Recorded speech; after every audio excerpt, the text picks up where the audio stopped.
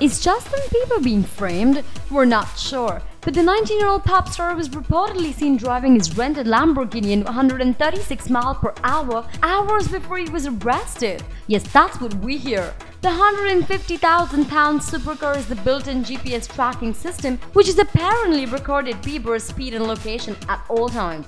And when Justin Bieber was actually arrested, he was just cruising at 27 miles per hour after coming out of a nightclub the same night.